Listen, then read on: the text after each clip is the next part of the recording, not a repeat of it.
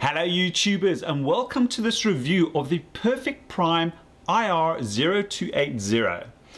So I was intrigued when Perfect Prime approached me about this little thermal camera. For one, its price point is fairly low and it does have the thing which really caught my attention. It has radiometric data. Now, many of the cameras at this price point don't have radiometric data and it has a touch screen, which means you can actually analyze an image that you've taken in the camera. It also has provision for external software, although at the moment there's no external software for it. It does save that radiometric data to a CSV file. Now the price point of these cameras is around anywhere from 180 odd dollars up to about 220 dollars which seems like a, a, nice entry point. You're not going to expect too much. The resolution is only 32 by 32. It's got a fairly narrow field of view, but that's actually good for the resolution that it's got. And it has quite a few features which kind of emulate and remind me of the Fluke VT series, or the, particularly the Fluke VT04. So the resolution and the field of view and some of the blending with a visual camera and then the thermal image are very similar to the Fluke VT04. Now, as I say, I've been very impressed that it does have that radiometric data. Um, there have been a few hiccups along the way while I've been evaluating this. There have been a few uh, issues that I've come up against, but each time I've found an issue, I've gone and emailed the marketing gent that works at Perfect Prime. He's got back to me promptly. He's come back to me um, with what seemingly very honest answers in terms of where there's a legitimate issue that they're aware of and they're working on, or in one case there's a, a, power issue with this, which is related to my device that I've got in my hands here. And he said, hey, we'll ship you out another one. And I said, no, don't worry, I can still do the video with, with this one. So it's good to see how responsive they are. And they've got a fairly nice website detailing and showing the rest of their cameras. Now what I'm going to do, we're going to go down to the bench, take a closer look at it, and then we'll actually do some performance testing and I'll show you some actually really handy real-world applications where you could use a little camera like this. Okay, so let's do a walk around this camera and have a look at some of the specifications. It is obviously a kind of handle grip type of camera, which I really like. Makes it really easy to use and point at targets when you're using it. It is lightweight. I believe it's around 200 and something grams. So very easy to hold in the hand. A very nice flat profile to it. You'll see that the microbolometer lens is tucked away. It doesn't have a cover, but uh, it, I think it's going to be fairly well protected because it is recessed. Then you've got your visual camera lens. Um, these three dots over here are a little speaker which give you alerts, one of the built-in applications. We'll have a look at that. It's not that loud, it could be louder. Um, in fact, I say it gives alerts. I think that it doesn't. Uh, we'll double check that. I think that was one of the criticisms I think I saw someone else write about actually. Then the outside case, all this black is a rubberized material, so it's nice and comfortable. It's also got this little ridge around the screen so if it does land this way or is placed up this way, the screen is not going to be in direct contact with the ground unless there's something poking up of course. The buttons would be in contact but they're rubberized. I found them nice and easy to use. They've got a nice little positive click to them. You'll see I've just woken it up out of its sleep mode there. Um, the plastic surprisingly, again, it feels like a nice quality plastic. The trigger, nice and easy to use. I noted, I think it was in, it might have been the Fluke VT04 in my review of that. That trigger was very hard to trigger. Um, so if you're taking a picture of something, you almost were moving your hand.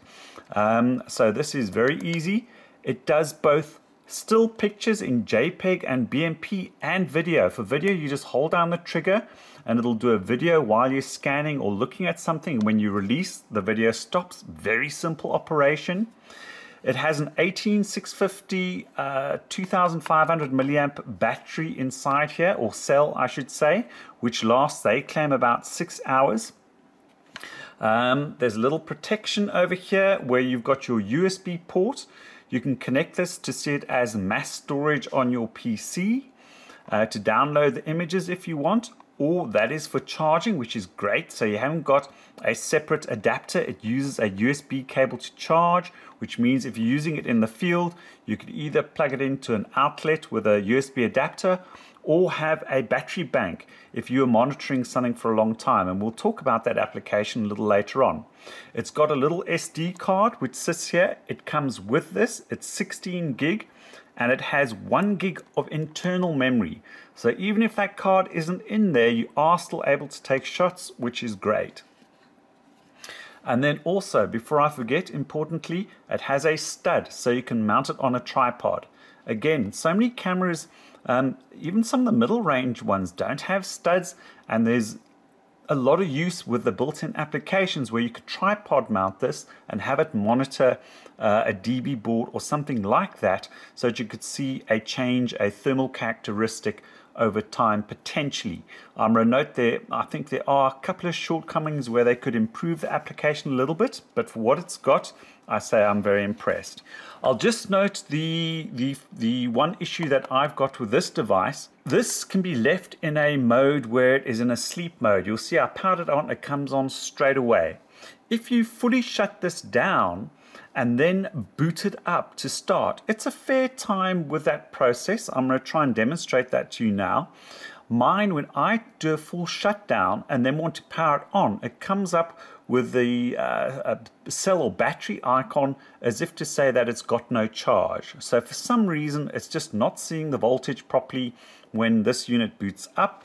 I have to plug it in. As soon as I plug it in, it boots up. I can pull the cable out and it runs fine.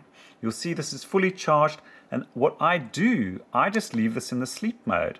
I've left this for an entire weekend, several days. I come back and it still has charge. No doubt after a prolonged period of time, the battery will certainly drain itself. So if you are going to leave this for a prolonged period of time, you want to shut it down fully. But it potentially, if you're using this daily and you just didn't want the hassle of um, shutting it down and waiting for it to start up, you can leave it in the sleep mode and it's ready to use very quickly. It really is nice how quickly it comes back and is ready to be used.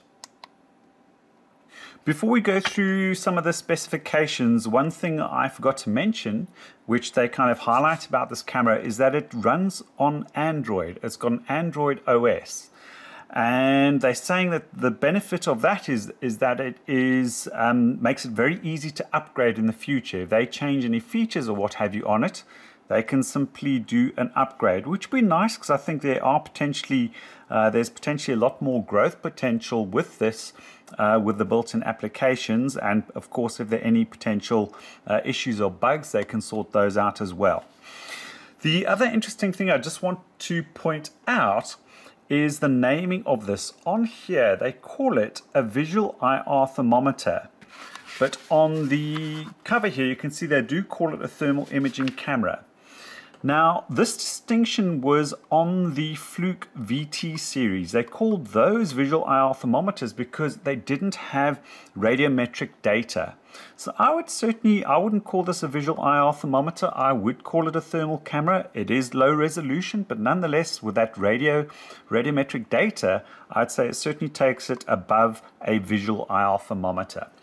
I'm not necessarily going to go through all the specifications. You can pause this yourself if you want to have a closer look at them. They mention the battery and size, uh, the size of the display. It's got a resistive type touch panel. Now that is one of the challenges I'm going to show you as I, we go through the menu system that sometimes doesn't work that well, but nonetheless it is a, a powerful feature when it comes to analyzing images. So we'll take a look at that. The sensor is 32 by 32. The Fluke VT, I think, was actually 28 by 28. So this 32 by 32 is 1024 uh, pixels which is obviously on the lower side, but it's still very useful. 1 gig internal memory, 16 gig included uh, SD card. Talks about the battery life, it's got an auto power off, the operating temperature, the dimensions, the weight, the warranty, It goes the resolution of the visible image camera. It's it's very low, but it's adequate for what it's doing. It gives the field of view being 33 by 33. That's certainly not very wide, but you wouldn't want it wide with a low resolution camera. So again, I, that's I think it's adequate for its use. Thermal sensitivity, it notes it as being 0.15 degrees Celsius. Now this is something we will test. Um, in another manual, they note that at 30 degrees Celsius. Now, the reason they go and specify that at a temperature, because it, it, I've done a video explaining how thermal cameras work and microbolometers. And at lower temperatures, um, you get thermal noise or noise on the camera. So the higher the temperature, the more infrared energy you get coming into those sensors, the better the camera will operate. Um, the test I do is at less than 30 degrees Celsius. It's the same test that I've done with all my other cameras, so it is a more tougher test, and we'll see it's going to it's not going to hit this mark, but we I will try and do a real world application to see how well that that uh, thermal sensitivity does work. Now this is an interesting one. Range of temperature measurement minus 30 C to plus 1000 degrees Celsius, and you've got it in Fahrenheit over there. Now, I've not had a camera in my hands that goes up to that range, and when I saw this, I thought, no way. But the interesting thing is, and I might insert just a, a capture from there, they've got a very nice website showing all their other cameras laid out in a nice matrix so you can compare features and even what the, the various thermal images look like at, at the various resolutions. And all the rest of their cameras are stated as going up to about 300 degrees Celsius, which seems more realistic. This is the only one which goes up to 1000. Now, I have tested this to about 300 degrees Celsius. We may, if we've got time in this testing, um, test that with an oven. I don't have my black body calibration unit anymore, which went up to 500. But yeah, that's an interesting one, but maybe the microbolometer in this is capable of that. It notes the accuracy, it says about 1% or 1 degree C up to 300 C. Again, we'll check that. There are some caveats to this accuracy, but we'll talk about. And then up to 1000 degrees Celsius, uh, 2 degrees C. It's got, you can obviously set the emissivity. This works at 9 hertz. Now, there are other cameras in the uh, Perfect Prime range, which I've seen branded differently on Amazon as well. And they are operating at 6 Hertz. And they tend to be a bit slow. So to have this operating at 9 Hertz, as we'll see, actually works reasonably well. It certainly does have limitations. Uh, we might do a test where we look at a moving object to see how well that works. It gives the, the range. It's got fixed focal distance. What it doesn't mention here is the um, shutter. This is shutterless. And again, if you want to understand what the shutter does, it, it, helps with the calibration. On many cameras, you have a shutter that comes across, it does a calibration, and then it opens up. And that can be quite irritating because it pauses the camera for a moment and makes a noise. This one doesn't have a shutter, it just continuously works. Um, it's got a few, it's got some filtering and some palettes which we will have a look at as well. It then notes, obviously it's got hue blending, it notes these applications. Let's go and have a look at the menu system. Okay, so I've just gone and powered on the unit. You'll see if I plonk my hand under there, it can, it's got the thermal image. I think it's in the blended mode. Um, on the display, it will show you the current time. You can set the time and date, your emissivity level. And again, if you want to understand what emissivity level and how important that is, I've got a video I'll link below which goes through that, your battery level. You've then got your palette. And your palette is noted at the bottom here and it notes the minimum temperature and the maximum temperature. I think you can switch this off if you want to. Um, you cannot lock your palette. Um, this is a feature which you get on uh, kind of mid-range cameras or high-end cameras. It can be very handy to lock that palette. It can help with um, noise in certain situations, the amount of temperature range you've got across your palette. You've then got your crosshairs here. Now I'm going to use this pointer just so my finger's not in the way. You can actually move your target around the screen, which is really, really helpful. And this comes in useful when you're looking at your still images um, to analyze the picture because you've got the 1024 points that you can look at after the fact, which is really handy. Um, I can use, it is a resistive touch screen and you can see it's working quite well here. But in certain situations, this touch screen, whether it's got to do with the UI and the software, it does come unstuck. I do wish there was a feature where you could kind of lock the crosshairs exactly in the middle. Sometimes I found myself, it's off to the side and I'm pointing, I'm thinking, oh no, I want it in the center and you're using your finger and sometimes you cannot get it exactly where you want, which I say, which is why I resort to this, this pointer. Um, in this mode, what you can do, the, but, the up and down button over here, you can switch between the blended modes and the visual mode. This one now has gone into a pure thermal image, I think. Now we've got the just the visual camera. And then we go back to the blended mode. And this blended mode, if you look carefully, you can see my finger there and the thermal image. You can see it's not overlapping properly. And that's because the visual camera and the actual microbolometer are put in two different positions and we're getting an error of parallax. They have got, you can calibrate that. Obviously when you're so close, um, you're going to have a large marginal large error there, but you can adjust it and I'll show you that a little bit later. So that switches between your, your blending modes. Then this button over here, you've got a filter.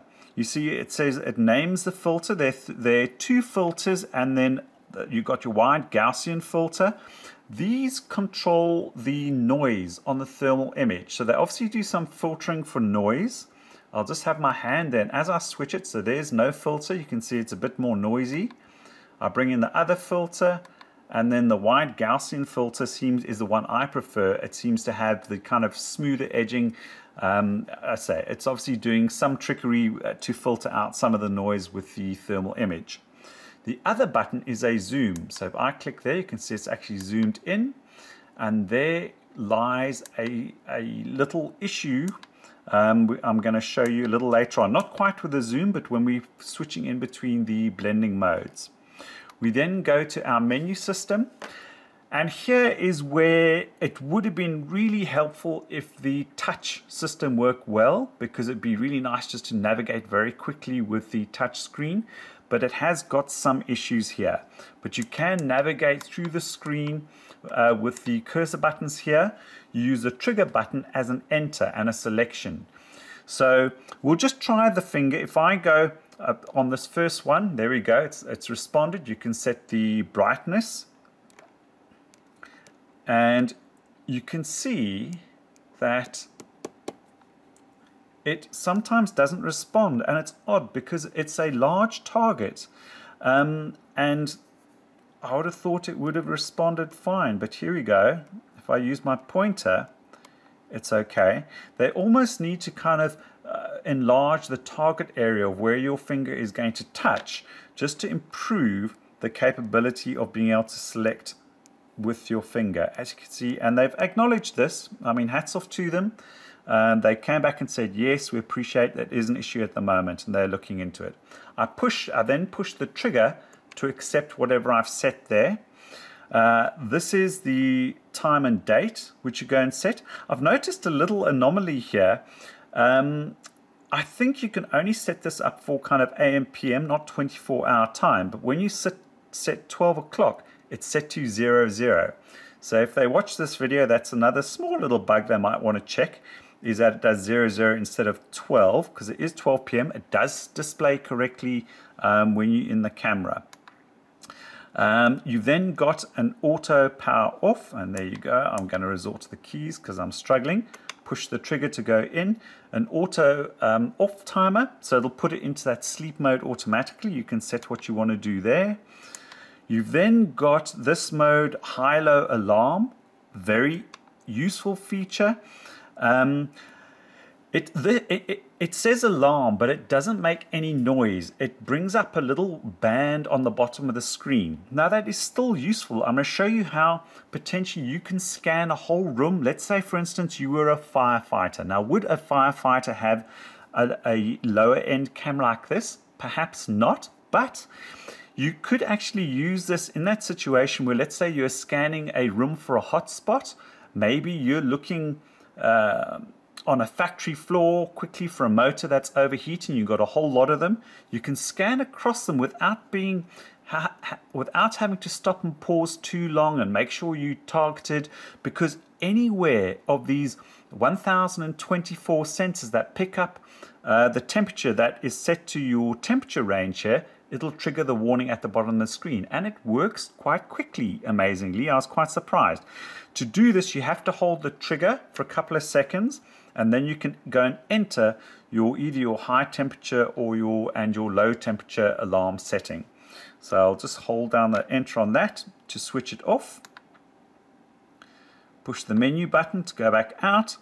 We've then got our monitor alarm. And what you do here again, you hold down the trigger for a couple of seconds. You can go and set this and here it will go and take a picture when it sees this temperature threshold. So we're going to test this. This can be a really, really handy feature and, it, and you can then tell it how long. The, what this one does is it's only when it sees that temperature will it actually take a picture. So basically, as it, if you're monitoring something and the temperature is going up, as soon as it hits that point, it takes a picture. If the temperature carries on going up, it doesn't take a picture. And if the temperature comes back down, it takes a picture.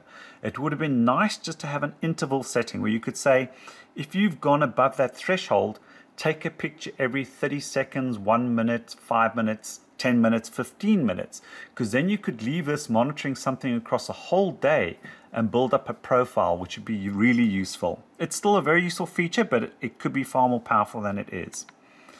Um, the duration on there, sorry, I didn't mention, is um, how long you want that feature to operate for. You can obviously tell it to switch off so that it's if something is varying around the temperature point, you can say at some point in time switch off after a certain duration. You can then specify your unit, whether it's Celsius or Fahrenheit. You can set your emissivity. Here is where you go into and look at the images that you've captured. And here again, navigating with your finger, you can see can be a little bit of a challenge. In theory, you can go through. I can tap on an Im tap on an uh, tap on an image. You can see where this is problematic. So here again, you can use the, the cursor. Um, I can go down. I've got lots of images here that I've been playing around with and what have you. But you can go down. I'm going to find one. There's one in my vehicle. I was looking at the air vent when the air conditioning was on. Um, but I'll show you one where there's potentially a useful application. Oh, these ones with the big play button are videos. I'll just click on that and just see. Oh, this was a motor. So what I did was that if you've looked at my previous videos on thermal cameras, I've got a motor that I swing around slowly with a heated washer. And if I click on that, and you can see even though this has got a very slow frame rate, I say the video is not that long, it's still able to capture that reasonably well. I was quite surprised. I've seen, if you go and look at my review across, I've, I review a whole lot of thermal cameras and I show some of the video capture where cameras can do that. And I would say some of them do far worse than this. You can actually see, because you've got the blend of the visual and the um, kind of infrared thermal image, even though it's low resolution, having that blended image gives you an idea of what's going on and makes it really useful, in my opinion. We'll go down. Now, so this is one I wanted to show you where it can be really useful. I put this held in front of my DB board or my breaker box you could have mounted this on a tripod because let's say you've got an issue with one of your uh, breakers overheating at some point in time during the day. Let's say you don't know what time during the day, you want to see what time that happens and get a trigger and record it, you could use that application to do that. But you may not know exactly where to point your target. So in this case, I've just, let's say, pointed the target in the middle of the picture just about all of the low-end cameras at this price point will just give you an image and just the temperature at the target, but this has radiometric data. So I can now move a target around, and as you can see, it is telling me the temperature of the rest of the image wherever I take that target. So you can see as I take it down here, we the palette is showing us that it's a bit warmer when we can see it's 27 point whatever degrees. But this is such a powerful feature to have at this price point. I know of no other high-end camera that I've had in my hands. When I say high-end camera, cameras that cost, let's say, up to $3,000, which have this capability of being able to analyze the, the image within the camera. You know, to have a touch screen and go, oh, hang on, now that I've got the camera, let me quickly analyze this. If you're on site, you don't have a, PC with you, you need to analyze, analyze the image right there and then. Wow, what a powerful feature. I'm to me, this just makes this camera really, really powerful in comparison to other uh, things at its price point. So those are all the images. You've got a setting where you can go in and delete. And just out of interest, obviously there I set up, I had a blended image. I could have just had a thermal image, but because of the resolution, you'd struggle to see what you're looking at. You could just have a visual image. So over here, let's say that you, you really wanted a clear picture. You weren't too worried about um, the thermal image. You just wanted the clear visual. You still have that radiometric data that you can go and use after the fact. Obviously, you've got you don't have uh, the the clue with the thermal image and the palette showing you the where potentially the hotspots are, but nonetheless, even with this visual picture, you can go and move a cursor around it and go have a look at all the, the temperature points, the 1024 of them, all around the display. Okay, so that is that. You can then go and select whether you want a bitmap or JPEG. I presume the bitmap might be a bit better. You can go and reset the camera. Uh, what is this again? This is where you can go and select your color palette. So there might be certain situations where, for instance, uh, having a lot of color uh, may not be that useful. Having, let's say, a black and white palette uh, may give you a better contrast if you're trying to see a subtle change in temperature. So depending on your application, changing the color palette can be just a preference thing, or as I say, in certain situations, removing the color and just having a monochrome uh, palette can be really, really handy. You've then got a guide um, the palette guide, I think, is basically that display at the, at the bottom of the display. So let me just switch that off. And here again, this is where, unfortunately, they need to do a bit of work on the UI. Go in there. If I, oh, there we go, off. I enter on there. I'm going to come back to the main visual. Yeah, it's that switches off your palette at the bottom. So if you want a bigger display and not show your palette, then that's what you do. I'm going to switch it on because it's quite handy um, to be able to see that palette. You can then go in, this is a delete feature to go and delete uh, pictures, I believe. I say that. It's blank. I think that's the first time I've gone in there. It says delete, but I don't know what I'm deleting. Let's check the manual. So here we go. In the manual, it says trash or delete to delete image or video permanently. But that might be another bug which needs to be looked at. So if I go in here, the files aren't showing up so I wouldn't be able to delete it from the camera. That must be a bug, so something else to highlight to them. We'll come back out of there. And then you've got your min-max.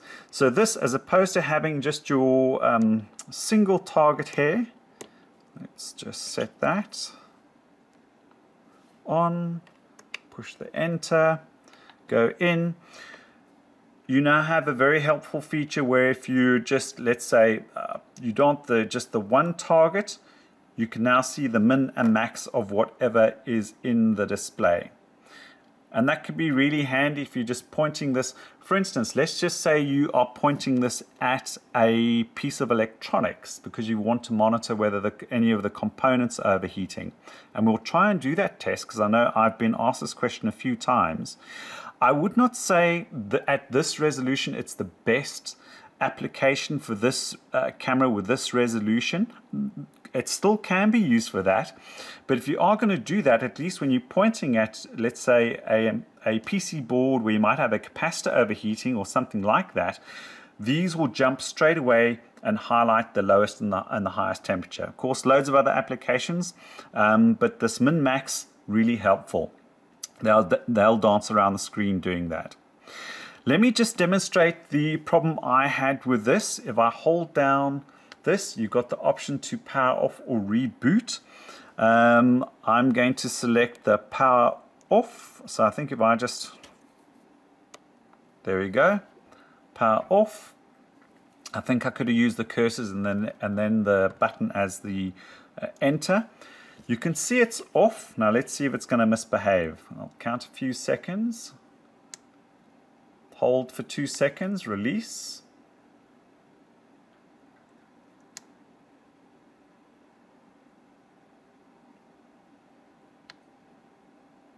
Interesting. At this point in time,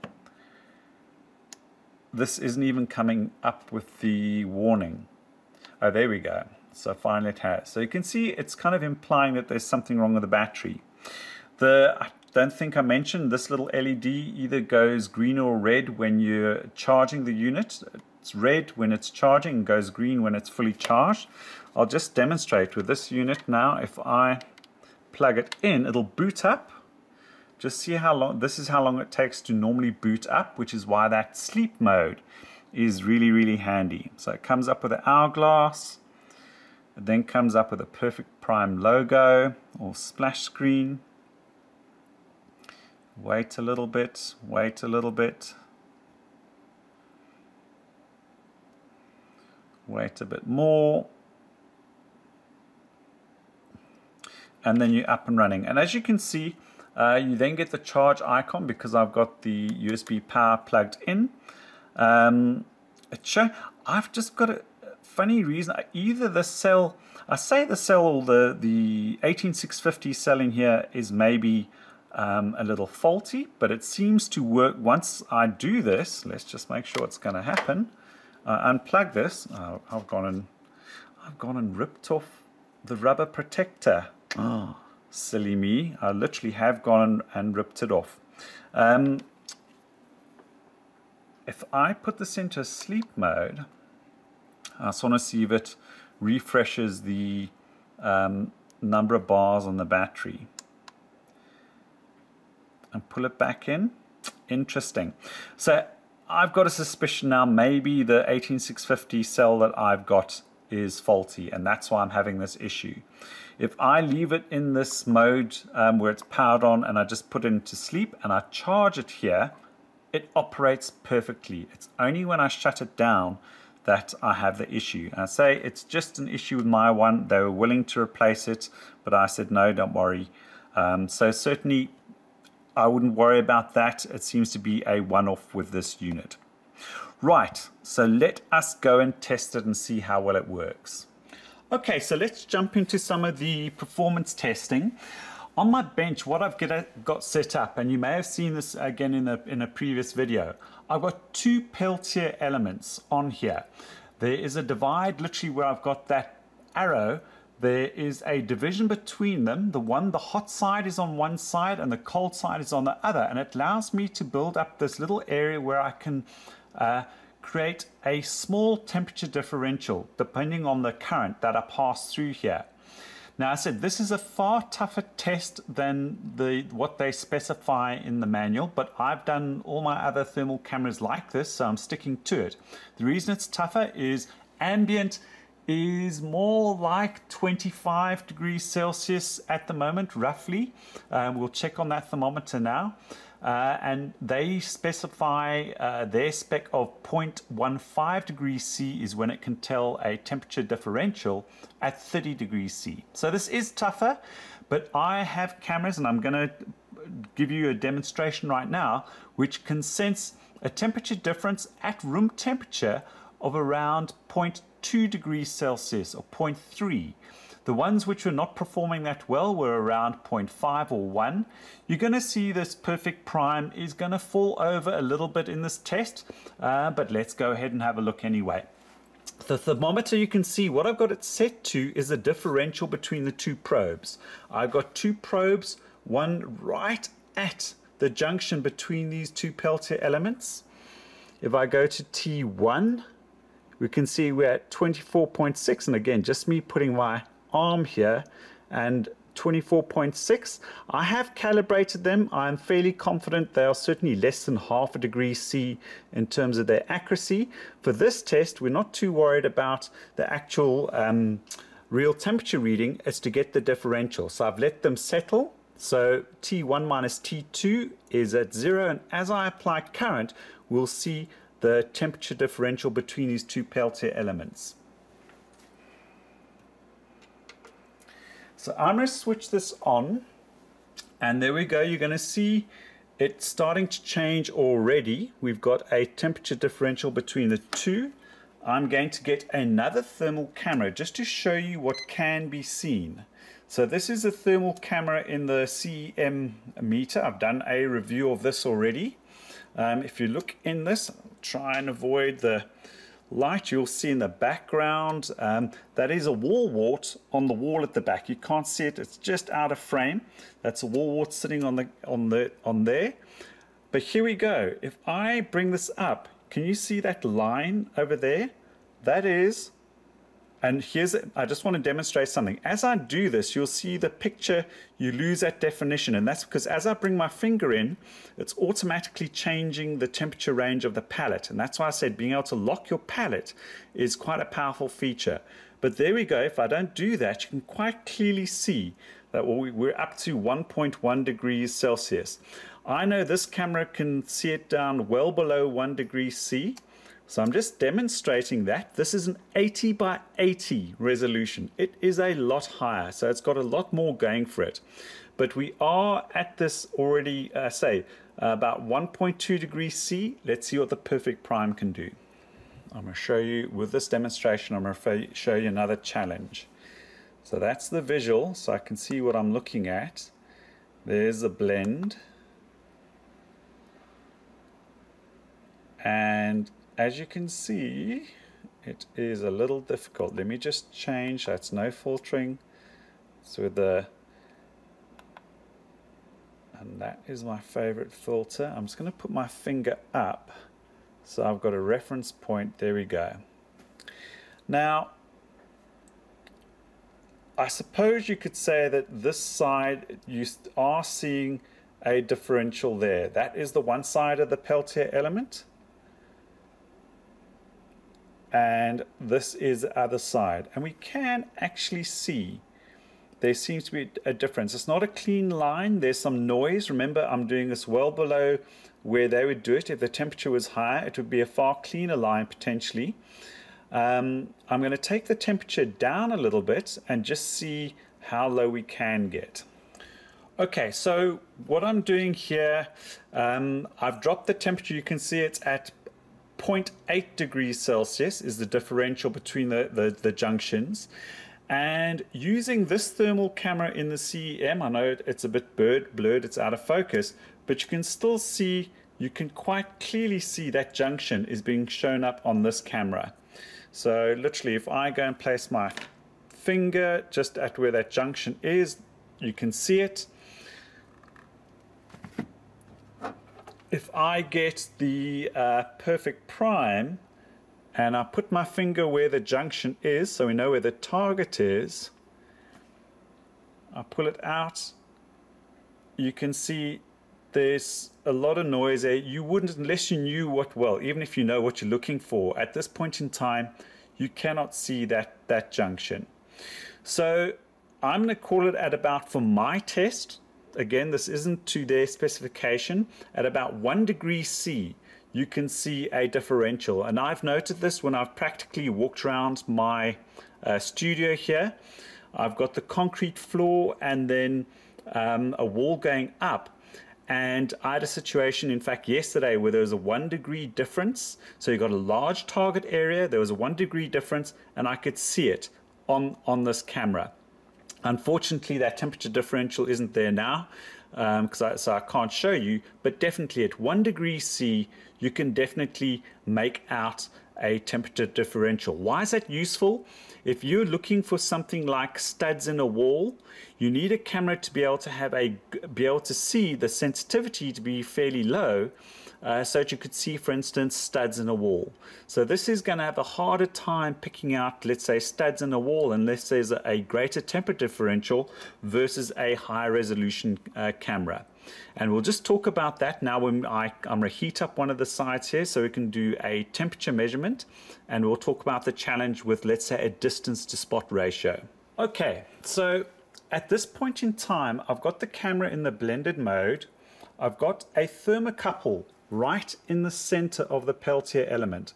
So I'll just waggle my finger over there. You can quite clearly see now we've got this hot patch and a cold patch. That's the temperature junction between the two Peltier elements. This thermocouple is in the middle, not at the junction, and that is the temperature that it's reading. Now I have gone to a fair bit of effort to um, calibrate this against a couple of other references, so I'm confident I'm certainly within at least half a degree C. Over here we can see that this is saying what 31, 32 point something, it's jumping around a bit. So it is certainly, I'd say, within the claim, within two, one or two degrees Celsius of the temperature reading. So no issue there. Now, a test I would normally do, which I've actually got on the other side of, of this plate with the Peltier elements, is I have an aperture, hole, which is 10 millimeters big. And then what I would do is I would use that as the target area and draw back to calculate the distance to spot ratio. But with cameras like these, which have such a low resolution, it's very challenging to get an accurate temperature or near accurate temperature reading when you've your when you've only got so many pixels around your target point. The manufacturers, I go into this with the microbolometers, um, they need to have um, do a little algorithm with all the pixels around the target point and let's say they might discard the outside ones because they they're too out and may have fringing or noise on them. So they've got to average across the pixels around the target area. Uh, to come up with a temperature reading. And when your resolution is so low, you don't have a lot to work with in the target area. So this camera, like those other cameras, needs the target area fairly filled up. You're not going to get an accurate temperature reading once you start pulling back beyond like 12 inches, a foot or something. So you really, if you want a reasonable reading, you need to be fairly close up. So just a heads up on that. But if I do pull back from here, you can now quite clearly see how it is showing um, there's a, obviously a cold side and a warm side over here. We've got the zoom feature, so if you want to zoom in for some reason, uh, I've gone and switched off the filtering. If you wanted to zoom in, that's quite useful. But what I wanted to show you, the one issue I have is let's say you had this stuck in a, in a tripod or like I've got it mounted in a little vise over here. And I was looking at a target and I wanted to change between the modes. Look what happens. You see how the target jumps off to the side here? So there's an alignment issue when you change between the thermal camera and the visual or blended camera view. So that's the visual camera. I now bring in the blending and we can see that we've got it in target there. But when I go to the thermal camera, it drops off. And that means I'd have to reposition it. Now, in the blended mode, I'll just go back there. They've got a calibration feature. My finger's going to go off. Oh, it's going to go here. If we hold the menu down for a couple of seconds, you can actually see on the screen it says calibration. And now I can actually use the keys to change, go in and out, and change the alignment. So I can actually set the alignment to correct for the error of parallax between the visual and the thermal camera, which is great. I've not seen this on the other cameras that I've had where you've got this adjustment. So I'm really chuffed that this does have it. So there we go. I've got for the distance that I've got, I've gone and lined it up so that both the visual and the thermal image view kind of overlay nicely. I'll go push the button so we're out of the calibration mode. It's just a pity that I can't, and if I hold this down, you'll see it doesn't go into calibration mode. You can't change the alignment. I'm going to mess things up now. Um, that you couldn't then align this image as well. I've mentioned it to them. Perhaps it's something they can work on. It would be really great if you could do that. Because I say this, where it jumps down, that's just a pity it does that. But anyway, let's look at the built-in applications. Okay, so let's have a look at one of these applications in potentially a real-world um, application. We've got, I've got a very uh, a DIY electronic DC load here. We are going to monitor this as I get it to draw more current and to see, let's say, if there's an issue. Now, what we, what's going to happen is the heatsink on the back here is going to heat up. I do know that there's a faulty capacitor in here that also heats up. Um, and that's what I'm going to try and demonstrate is to show potentially how a lower resolution camera like this might have slight issues trying to pick up smaller components which are overheating or what have you.